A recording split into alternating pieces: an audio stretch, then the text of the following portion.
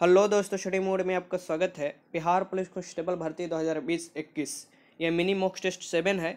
सभी क्वेश्चन ध्यानपूर्वक आपको देखना है और कमेंट बॉक्स में स्कोर बताते चलना है, ठीक? तो चलिए स्टार्ट कर रहे हैं। क्वेश्चन नंबर पहला है कि निम्न में से, निम्न में से किस भारत के सरकार का प्रथम विधि अधिकारी समझा जाता है? किससे होगा यहाँ पर? किससे भारत सरकार के प्रथम विधि अधिकारी समझा जाता है? आपको बताना है, ठीक? तो ये हो जाएँगे महान्यायवादी।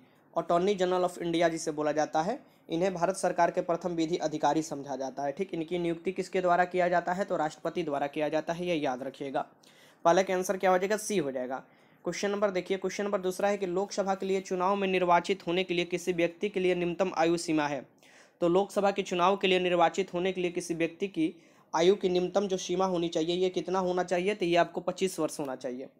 पच्चीस वर्ष होता है, ये याद रखिएगा। वोट डालने के लिए न्यूनतम आयु अठारह वर्ष। और ये कब किया गया था? तो ये आपको इकसठवां संविधान संशोधन किया गया था और वहीं आपको इक्कीस वर्ष से घटाकर अठारह वर्ष कर दिया गया था, ठीक? ये ध्यान में रखिएगा, वोट डालने की उम्र। अगर पंचायत में किसी चुनाव लड़ने के लिए खड़ा होना है तो इक्कीस वर्ष चाहिए होता है। अब यहाँ पर मैं आपको बता दूँ कि उपराष्ट्रपति के लिए पैंतीस वर्ष, राष्ट्रपति के लिए पैंतीस वर्ष, राज्यपाल के लिए पैंतीस वर्ष मिनिमम आपका एज पूछ सकता है।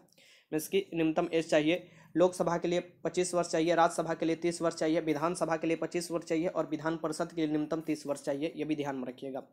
प्रधानमंत्री या मंत्रिपरिषद कोई भी हो, इसके मंत्रिमंडल में, कैबिनेट मंत्री में, उनको भी न्यूनतम बनने के लिए आपको पच्चीस वर्ष चाहिए, ठीक? कोई भी मंत्री। तो ये याद रखिएगा, दूसरे के आंसर क्या हो जाएगा, यहाँ पर सी हो जाएगा। आगे देखते हैं, क्वेश्चन नंबर थ्री है, देखिए, कि भारतीय संविधान का कौन सा अनुच्छेद संविधानिक प्रावधानों के संघीय संसद या राज्य विधान पत्रिकाओं द्वारा बनाए गए नियमों पर प्राथमिकता प्रदान करता है, ठीक? आपको पता है कि संसद पूरे देश के लिए कानून बनाता है और राज्य की जो विधान पालिका या विधानसभा होती हैं, वो आपको अपने राज्य के लिए बनाती है। ये किसके अंतर्गत इसको अधिकार दिया गया है? तो आर्टिकल 245 में ये दिया है कि राज्य के जो कानून बनाए गए, राज्य के आपको विधानसभा और जो संसद के कानून बनाया जाएगा, वो बनाया जाएगा आपको। संसद द्वारा पूरे भारत के कानून बनाया जाता है, ठीक? ये ध्यान में रखिएगा। तो तीसरे के आंसर क्या हो जाएगा यहाँ पर? सी हो जाएगा। आर्टिकल बत्तीस को संविधान की आर्टिकल अगर पूछे कि अगर संविधान की आत्मा कहते हैं अंबेडकर जी ने इन्हें आपको बत्तीस को, और बत्तीस जो है ये आपको रीट जारी किया जाता है सुप्रीम कोर्ट द्वारा फंडामेंटल राइट के हनन जो होता है उसको बचाने के लिए, ठीक? ये भी ध्यान में रखिएगा।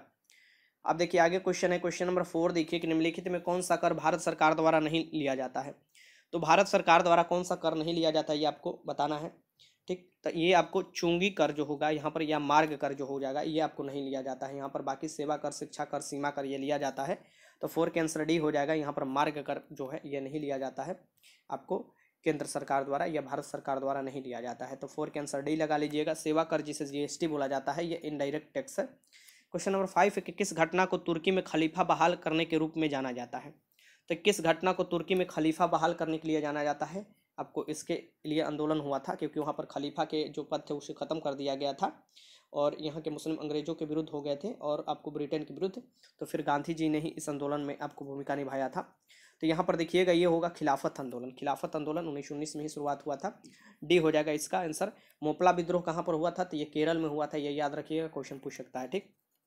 अब देखिए क्वेश्चन नंबर सिक्स कि बंगाल विभाजन को किसके समय उलट दिया गया था?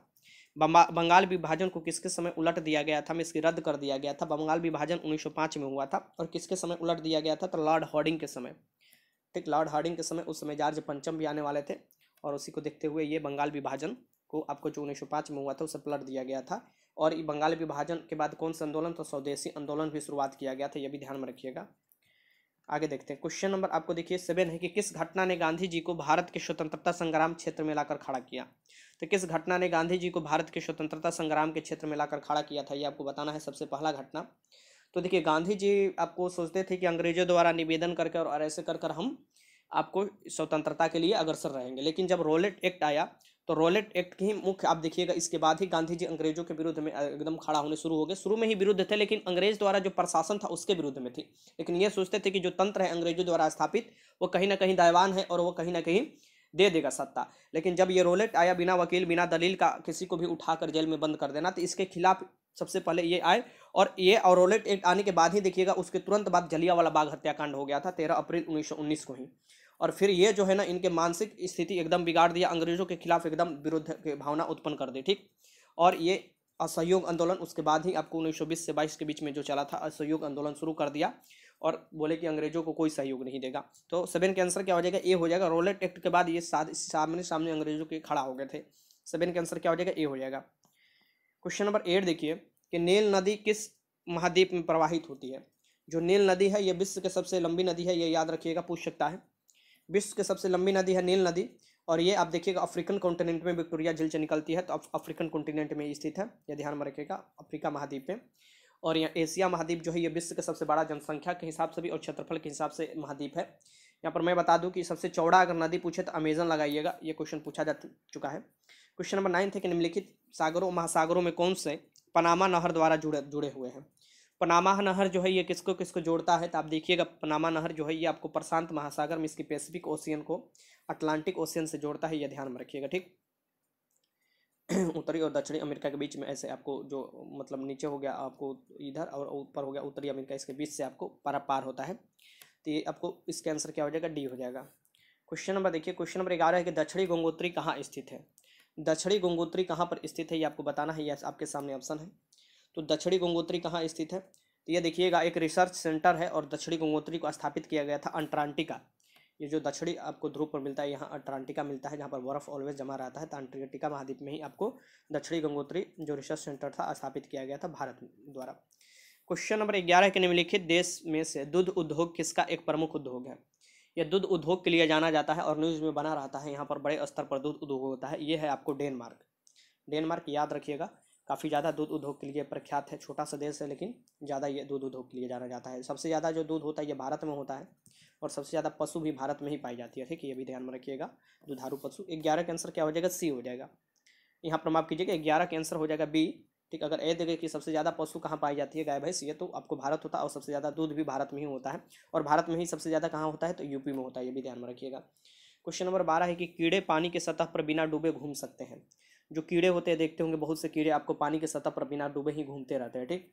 तो क्या होता है, आप देखिएगा, उनका जो पैर होता है, बहुत से पतला होता है, और बीच में वो क्या होता है, ये आपको खाली पैर का बीच में आप देखिएगा तो खाली भी होता है, और उसमें किसके कारण ये तो पृष्ठीय जो तनाव होता है ना, उसी के कारण तो पृष्ठीय तनाव के कारण ही, पानी के पृष्ठीय तनाव के कारण ही वो पानी की सतह पर आराम से तैर सकते हैं, या आपको ये भी बोल सकते हैं, जो सुई होता है, नुकीला, वो भी पानी की सतह पर तैर जाता है, किसके पृष्ठीय तनाव के कारण ही, पृष्ठीय तनाव के कारण ही बारिश के बूंदे गोल होती है, ठीक? बारह के आंसर क्या हो जाएगा, सी हो जाएगा क्वेश्चन नंबर तेरह है कि तापक्रम की एसआई इकाई है। जो तापक्रम है टेम्परेचर की एसआई यूनिट आपको बताना है क्या होगा तो इसमें हो जाएगा आपको केलविन केलविन हो जाएगा। तेरह का आंसर ए हो जाएगा। क्वेश्चन नंबर चौदह देखिए आपके सामने है कि निम्न में से कौन सा विटामिन ई का एक अच्छा स्रोत है। विटामिन ई का सबसे अच्छा स्रोत इसमें से कौन है, ये आपको बताना है। निम्न में से कौन सा विटामिन ई का एक अच्छा स्रोत है? तो विटामिन ई देखिएगा तो जनन क्षम, जो क्षमता होता है, उसको ये तोड़ देता है, मीन्स की उस पर नकारात्मक प्रभाव डालता है इसकी कमी से। और इसीलिए बोला जाता है कि ताज़ी सब्ज़ियाँ या हरी पत्तेदार सब्ज़ियाँ खाने से विटामिन ई ज़्यादा मिलता है। ठीक, ये भी ध्यान में रखिएगा। हरी पत्तेदार सब्ज़ियाँ में आपको जैसे पालक, उलक हुआ, उसमें आपको आयरन भी ज़्यादा मिलता है। और आयरन मुख्य रूप से आपको रक्त के लिए जिम्मेदार होता है। ठीक, अनिमिया रोग हो जाता है आयरन की कमी से, ये ध्यान में रखिएगा। इसकी आपको खून की कमी, जिसे बोला जाता है। तो चौदह के आंसर क्या हो जाएगा? यहाँ पर ए हो जाएगा। क्वेश्चन नंबर यहाँ पर पंद्रह, देखिए क्वेश्चन नंबर पंद्रह की मानव मस्तिष्क का कौन सा भाग भूख, प्यास और निंद्रा केंद्र करता है? तो मानव मस्तिष्क का कौन सा भाग भूख, प्यास और निंद्रा को केंद्रित करता है, ये आपको बताना है। ये आपके सामने ऑप्शन है। ठीक? तो ये करता है हाइपोथैलमस हाइपोथैलमस जो है, ये आपको मस्तिष्क का भाग है, जो कि भूख, प्यास और निंद्रा को केंद्रित करता है। ठीक? तो पंद्रह के आंसर ए हो जाएगा। क्वेश्चन नंबर सोलह, देखिए, कि निम्न में से कौन सी विटामिन रक्त का थक्का बनने के लिए आवश्यक है? तो कौन से विटामिन है जो कि रक्त को थक्का बनने के लिए आवश्यक है? अगर नहीं रहता है तो रक्त थक्का मतलब कि नहीं बनता है और रक्त बहते रहता है। यह विटामिन के है। क्या नाम इसका है? विटामिन के नाम है, यह ध्यान में रखिएगा। और विटामिन बी ट्वेल्व का नाम है साइबोकोबालिन। ठीक ये भी ध्यान में रखिएगा। विटामिन ए जो है, रेटिनोल है, जो कि आपको गाजर में सबसे ज़्यादा मिलता है। और विटामिन डी तो आप जानते ही हैं, मछली के तेल हुआ या आपको सूरज के प्रकाश हुआ, उसमें मिलता है। क्वेश्चन नंबर सत्रह, देखिए, उस विज्ञानी का नाम बताइए जिसने कहा था कि पदार्थ को ऊर्जा में बदला जा सकता है। किसी भी पदार्थ को ऊर्जा में बदला जा सकता है, ये तो आप जानते हैं। और ऊर्जा का संरक्षण का नियम भी आपको याद होना चाहिए। ऊर्जा एक, आपको ना तो क्रिएट किया जा सकता है नहीं डिस्ट्रॉयड किया जा सकता है मीन्स ना बनाया जा सकता है, ना उत्पन्न किया जाता है। ऊर्जा एक रूप से दूसरे रूप में रूपांतरित किया जाता है। ये जो दिया गया था, ये कि किसी को आपको जिसमें द्रव्यमान होना चाहिए, वो ऊर्जा में बदल सकता है। और ई बराबर एम सी स्क्वायर की फॉर्मूला भी ये इन्होंने दिया था। ठीक, ये है आपको आइंस्टीन सदी का सबसे बड़ा वैज्ञानिक आइंस्टीन थे। सत्रह के आंसर डी हो जाएगा। क्वेश्चन नंबर अठारह है कि वह उपकरण जो ईंधन की रासायनिक ऊर्जा को सीधे विद्युत ऊर्जा में बदल देता है। तो ईंधन के रासायनिक ऊर्जा को विद्युत ऊर्जा में जो बदल देता है, ये सेल होता है बैटरी होता है तो ईंधन सेल जो होता है, ये काम करता है। तो अठारह के आंसर क्या हो जाएगा? सी हो जाएगा।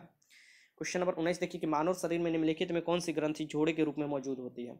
तो इंड्रियल ग्रंथि, या आपको देखिएगा, मानव शरीर में कौन सी ग्रंथि आपको मौजूद होती है? तो इंड्रियल में इसकी आपको ये कौन सी ग्रंथि हो जाएगी? तो अधिवृक जिसे बोला जाता है, ये जोड़े के रूप में आपको मौजूद होता है शरीर में, ठीक? ये ध्यान में रखिएगा, उन्नीस का आंसर ए हो जाएगा। क्वेश्चन नंबर बीस है कि देवासुर में कौन सा समास है? देवा और सूर। देखिए, देवा मिस के देव मिस भगवान और सूर, एक दूसरे के ये अपोजिट है। मिस की एक दूसरे में ये क्या हो रहे हैं? एक दूसरे का द्वंद्वात मिस द्वंद्व कर रहे हैं, ठीक? जैसे माता पिता पाप पुण्य, ये सभी क्या आ जाते हैं? द्वंद्व समास के अंतर्गत आ जाते हैं, ठीक? तो ये इसका आंसर क्या हो जाएगा? बीस का आंसर क्या हो जाएगा? सी हो जाएगा। क्वेश्चन नंबर इक्कीस है कि चंदू के चाचा ने चांदी के चम्मच से चटनी चटाई। वाक्य में प्रयुक्त अलंकार है। बताइए, चंदू के चाचा ने चाँद, चाचा ने चांदी के चम्मच से चटनी चटाई। इस वाक्य में जो प्रयुक्त अलंकार है, ये कौन सा अलंकार है, ये आपको बताना है? ठीक तो इसमें जो अलंकार है, ये अनुप्रास अलंकार है। कौन है? अनुप्रास अलंकार है, ठीक? ये क्वेश्चन पूछ सकता है। क्वेश्चन नंबर बाईस, देखिए कि भारत में निम्नलिखित पर्वतों को उत्तर से दक्षिण की ओर सही क्रम कौन सा है? जो ये पर्वत का नाम दिया है, उत्तर से इसके ऊपर से नीचे की तरफ़ आने पर, उत्तर से दक्षिण की तरफ़ जाने पर आपको पर्वतों का नाम बताना है कि इसमें सही क्रम कौन सा है। तो सबसे पहले हिमालय आएगा, बात सही है। ठीक, फिर आपको बिंद श्रेणी आ जाएगा, फिर सतपुड़ा आ जाएगा और सबसे नीचे में आ जाता है आपको नीलगरी। ठीक तो ये आपको आंसर क्या हो जाएगा यहाँ पर? ए हो जाएगा। क्वेश्चन नंबर बीस है कि पाक जल डमरू मध्य स्थित है, पाक जल डमरू मध्य जो है, ये किसके किसके बीच में स्थित है, ये आपको बताना है क्वेश्चन नंबर तेईस है। तो पाक जल डमरू मध्य जो है, ये भारत और श्रीलंका के बीच में स्थित है और एडम्स ब्रिज भी इस, इन्हीं दोनों के बीच में है, ये याद रखिएगा जिसे आदम की पुल भी बोला जाता है, ठीक? तो ऐसे क्वेश्चन पूछ सकता है तो ये भारत और श्रीलंका के बीच में स्थित है। क्वेश्चन देखिए चौबीस के निम्नलिखित राज्यों के अंदर शासित प्रदेशों में किसमें जुआरी नदी प्रवाहित होता है? तो किसमें जुआरी नदी प्रवाहित होता है, ये बताना है। तो क्षेत्रफल की दृष्टि से सबसे छोटा राज्य कौन सा है? गोवा है, उसी में ये प्रवाहित होता है, ठीक? ये ध्यान में रखिएगा, क्षेत्रफल की दृष्टि से सबसे छोटा राज्य गोवा है और जनसंख्या की दृष्टि से सबसे छोटा राज्य सिक्किम है। जनसंख्या की दृष्टि से सबसे बड़ा राज्य जो है यूपी है और क्षेत्रफल की दृष्टि से सबसे बड़ा राज्य जो है ये राजस्थान है, ठीक? ये सब याद रखिएगा। और जनसंख्या घनत्व की दृष्टि से सबसे पहला स्थान बिहार का आता है। क्वेश्चन नंबर पच्चीस देखिए, क्या कह रहा है कि निम्नलिखित में से भारत में मौलिक कर्तव्य कौन सा है? ये आपको बताना है कि मौलिक कर्तव्य कौन सा है? सबसे पहले चारों पढ़ दीजिए। ये मौलिक कर्तव्य के बारे में पूछ रहे हैं। हमारे जब संविधान लागू हुआ था, छब्बीस जनवरी 1950 को तो उस समय मौलिक कर्तव्य नहीं थे, ठीक? तो मौलिक कर्तव्य कब जोड़े गए थे? तो बयालीसवें संविधान संशोधन उन्नीस सौ छिहत्तर में। और बयालीसवें संविधान संशोधन को मिनी कॉन्स्टिट्यूशन भी बोला जाता है। स्वर्ण समिति ने सिफारिश किया था तो मौलिक कर्तव्य जोड़े गए थे। उस समय दस मौलिक कर्तव्य थे, लेकिन अब ग्यारह मौलिक कर्तव्य है, ये ध्यान में रखिएगा। और जो ये मौलिक कर्तव्य है, ये यूएसएसआर के संविधान से लिए गए हैं। अब वो रसिया हो चुका है। और यहाँ पर संविधान के भाग चार ए में इसको डाला गया है, ठीक? चार ए में डाला गया है आर्टिकल इक्यावन के कम में। ग्यारह मौलिक कर्तव्य है अभी, और ये इसमें जो हो जाएगा, ये हमारी मिली जुली संस्कृति के समृद्ध विरासत को सुरक्षित, संरक्षित करना और महत्व प्रदान करना, यही आपको हो जाएगा आंसर पच्चीस का आंसर क्या हो जाएगा? बी हो जाएगा। अब यहाँ पर कितने क्वेश्चन आपने सही किए, ज़रूर बताइएगा, और फिर मैं आपको बता देता हूँ कि बिहार पुलिस कॉन्स्टेबल के लिए अगर आपने टेस्ट नहीं ज्वाइन किया है तो जल्दी से टेस्ट ज्वाइन कर लीजिए। पैंतीस फुल मॉक टेस्ट मात्र एक सौ इक्यावन रुपये में ज्वाइन कर सकते हैं। कैसे ज्वाइन कीजिएगा, चलिए मैं बता देता हूँ। डिस्क्रिप्शन बॉक्स में एक नंबर भी दे देता हूँ। ज्वाइन करने के बाद या ज्वाइन करने से पहले कोई दिक्कत होता है तो वहाँ पर आप व्हाट्सअप कर कर जानकारी ले सकते हैं। अगर आप बिहार पुलिस कांस्टेबल 2020 का फॉर्म भरे हैं, जिसका एग्ज़ाम 14 मार्च 2021 तथा 21 मार्च 2021 को कंडक्ट कराया जाएगा बिहार के अलग अलग परीक्षा केंद्रों पर तो आप फुल मॉक टेस्ट लगा सकते हैं। पैंतीस फुल मॉक टेस्ट मात्र एक सौ इक्यावन रुपये में आप लगा सकते हैं, जिसका सभी क्वेश्चन जो होगा वो सिलेबस पर आधारित होगा। और इसमें आपको क्या क्या विशेषता मिलने वाला है तो सबसे पहले हिंदी इंग्लिश दोनों में आपको प्रश्न होगा, ठीक? साथ में स्कोर के साथ आपका रैंक भी दिखाई देगा। आप अपना स्कोर के साथ रैंक देख सकते हैं कि कितने लोगों में आपका कितना रैंक है, और काफ़ी लड़के टेस्ट लगा भी रहे हैं तो आपको भी लगाना चाहिए। ठीक? फिर इसके बाद सभी प्रश्न का विश्लेषण होगा।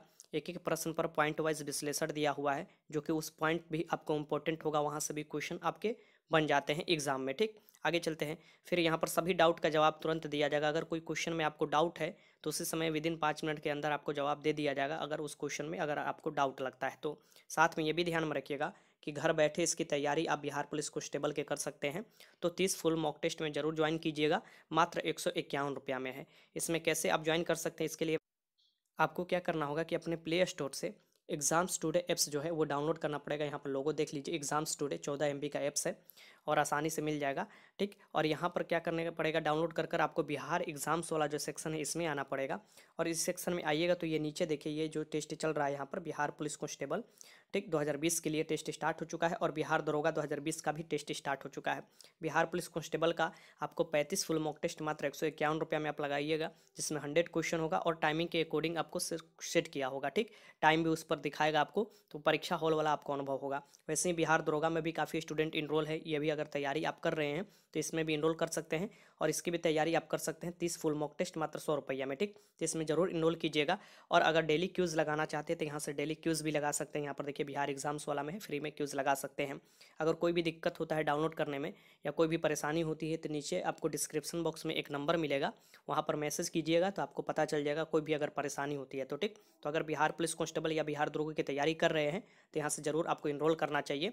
और सबके साथ में अगर टेस्ट लगाइएगा तो आपको अनुभव भी होगा कि कितना टफ कंपटीशन है, क्योंकि इतने ज़्यादा लोग इतने कम सीट पर हैं। ठीक तो वीडियो अच्छा लगा तो लाइक कीजिएगा, कोई भी मन में डाउट है कॉमेंट बॉक्स में लिख सकते हैं। वीडियो देखने का आपका बहुत बहुत धन्यवाद।